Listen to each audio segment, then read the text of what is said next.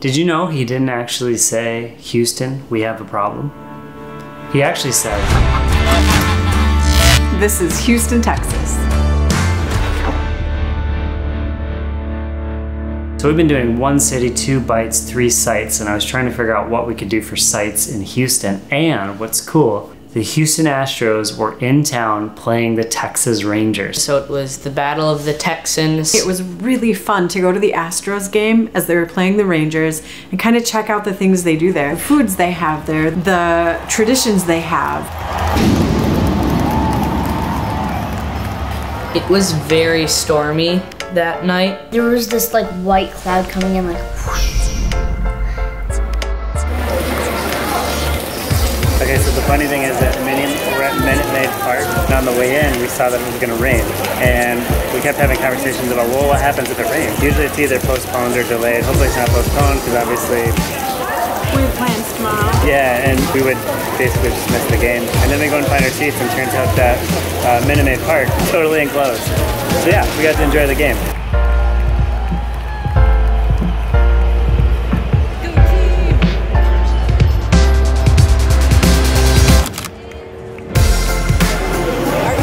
Uber driver's here. Now we're gonna make our way through the rain back to the car. How you feel about that? I don't know, unpleasant. Ready to get wet? Yay! You? Yay! Here we go. Lightning are not edible! See that? We left a little bit early from the game because it was pretty late. We hadn't eaten dinner yet, and so we went to Whataburger. Got the large onion rings. Why isn't there any Whataburgers in Minnesota? Dear Whataburger, why are you not with us? I need to give this a taste first. Okay, give it a taste. I got chicken and fries. Bill got some sort of chicken Chicken sandwich. sandwich. I was gonna get the chicken salad, but it's like way more money. I didn't realize there was a time limit on the chicken and honey butter biscuit sandwich. I really wanted that. From 11 to 11, but I'm in the wrong sandwich of 11. No onions, mayo, you like it? Love it? I tried a burger that had more than cheese, ketchup, and pickles on it, and I loved it. They're a little messier than, than other traditional burgers.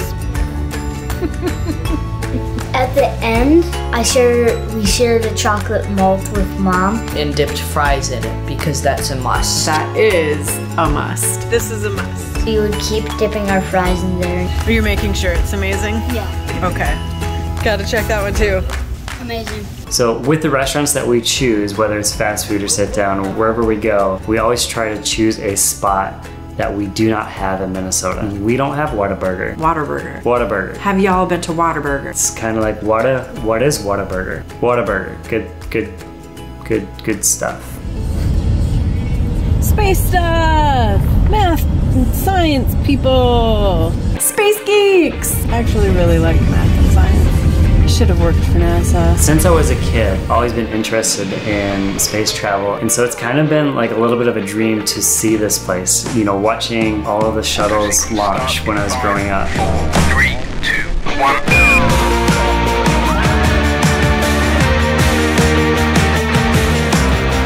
I really love space. So for me, going to any place with like space or spaceships or flight involved is gonna be fun. I liked making the paper rockets and launching them. I made a rocket with paper. It didn't go as high or far as I expected. Mine shot so far. It was awesome. And it's cute. Look at how cute it is. There's some tours that you can go on where you hop on a tram. You gotta download the app to reserve your spot virtually, and then the app lets you know when it's ready to get in line and when you'll be boarding. We got to see where astronauts train. As well as preparing us for the next generation of space The training facility was really cool. We got to see their Valkyrie robots, which can be controlled by VR headsets or Xbox controllers. They had initially been designed to go into places that have had a disaster and search for survivors. If you're like 12 years old, you could grow up and work for NASA manning robots in space. So I technically could work for NASA now.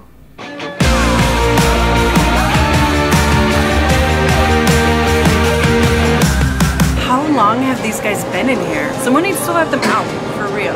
It was amazing being there. I touched a rock from the moon and a shooting star rock. I- I'm pretty sure it was a full one. Did you know it's Houston? We've had a problem. Hey, Houston, we've had a problem here. Not Houston, we have a problem.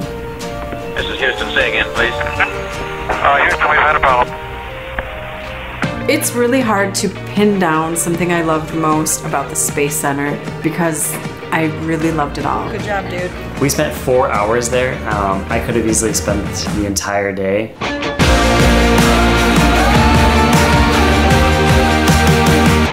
we take this home? Do they sell it? No. I want to take this home. Can we? Jill found this Italian restaurant which was really close to the Space Center. Okay, guys, we went to one of the best restaurants in the world. The food was good, but the best part of it was the people. We got there at 3 o'clock between lunch and dinner, and it was really cool because there wasn't many people in there.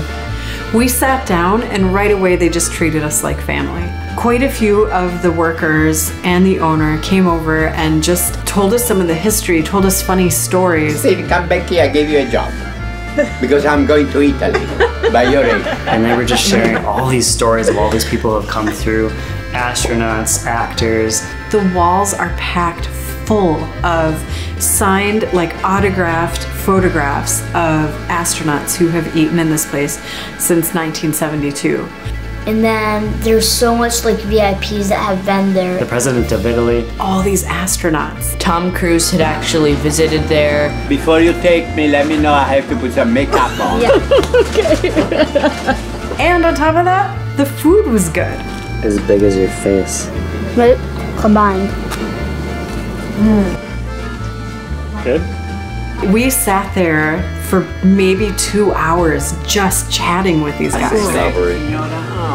What do you think? What a Frankie's one of the coolest guys that I've ever met. Just one of the coolest experiences we've ever had in a restaurant, and I would highly recommend going there. They were also F U N N Y.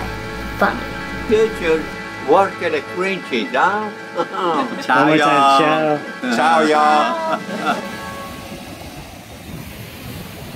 Quinn, how come you're not in? Scared of jellyfish because they saw one. Dad saw a jellyfish? Yep. And we're like, no thanks to jellyfish. From Frenchie's, we went to a local beach in the Bay Area. We went to Sylvan Beach and There was a warning sign about jellyfish. so I'm like, oh no, now I'm gonna get stung by jellyfish. And looked up on my phone what to do in case of jellyfish sting, because that's kind of my luck. The water here, you just walked right in and it was warm. Like immediately, I was used to it. It's like actually sort of hot. There are fish jumping up in the water. It's cool. I don't get it. I, I don't know what kind of fish they are, but it's really fun to watch. Watch, viewer, watch. I think I got it. So I stand up, I get out of the water, and I'm like, ow, mom, there's this red spot on me. And she's like, it's a jellyfish sting. Bum bum bum. Elliot goes in the water. He comes out stung by a jellyfish. Comment below if you've ever got stung or bit by anything that you shouldn't have been bit or stung by. We didn't stay very long, but that's okay because Quinn found this amazing shop. It was top rated. If you're in that area, it's definitely one of the places that we would recommend. Quinn, what did you get? Sour apple, sour vegetables, uh, something. And what, what meal is this for? Dinner. This is my dinner right here. We had had so much at Frenchie's Italian restaurant that ice cream definitely had to be the follow-up meal because I don't think we could have handled any more. Getting the strawberry parfait. No raisins. I hate raisins, but should be good. Okay, what do you got? Bluebell Blue Monster. With blue vanilla, cookie dough, and chocolate chip. Um, it was really good. I loved it. I also liked Mom's banana split a lot. It was really good. Mom got a banana split that I also wish I had gotten. So when you go to an Italian place and you eat around three o'clock and you stay there until five, just kind of still eating, then the appropriate thing to do for dinner is ice cream. It's the obvious choice. Ice cream for dinner is always awesome. There is so much more to do in Houston. I would definitely go back. So I guess we'll just have to have a second visit because we definitely need to go to Frenchie's again.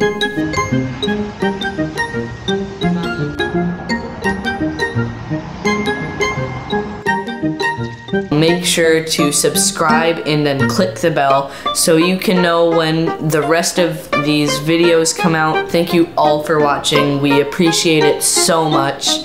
Hope you enjoyed it, and uh, we'll see you next time.